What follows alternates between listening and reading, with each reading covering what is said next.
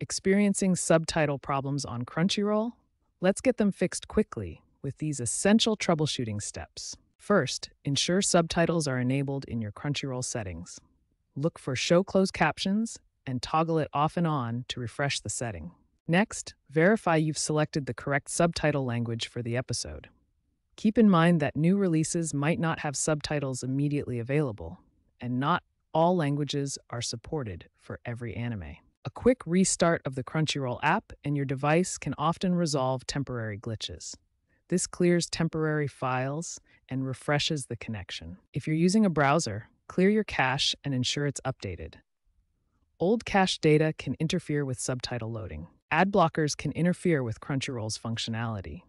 Try disabling them temporarily to see if this resolves the subtitle issue. Finally, a stable internet connection is crucial for subtitle loading. Check your connection speed and stability to ensure smooth streaming. These initial troubleshooting steps address the most common causes of Crunchyroll subtitle issues. Try them in order, and most problems should be resolved quickly. When basic troubleshooting doesn't resolve your Crunchyroll subtitle issues, it's time for advanced solutions. We'll cover app and browser fixes, account troubleshooting, and how to get help when problems persist. First, let's address app specific issues.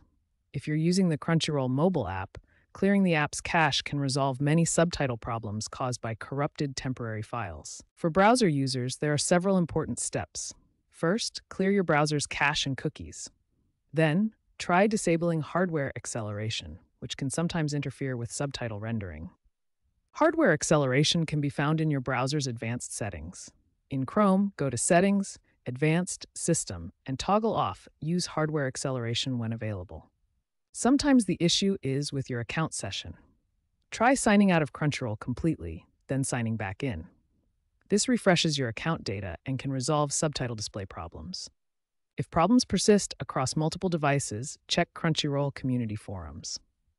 Other users often report similar issues and share solutions.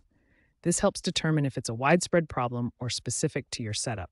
As of 2025, Crunchyroll is exploring AI generated subtitles. While this speeds up subtitle creation, quality may vary. You might notice inconsistencies or errors in newer content as this technology is still being refined. When issues persist, report them directly to Crunchyroll support. Be specific. Include the anime title, episode number, and describe the exact problem. This helps their team identify and fix subtitle issues more effectively. Finally, if you're outside the United States, try using a VPN. Regional restrictions can sometimes cause subtitle issues. A VPN can help by connecting you through a US server, potentially resolving region specific problems. These advanced troubleshooting steps should resolve most persistent Crunchyroll subtitle issues. Remember to try solutions systematically and don't hesitate to reach out to support with detailed information when problems persist.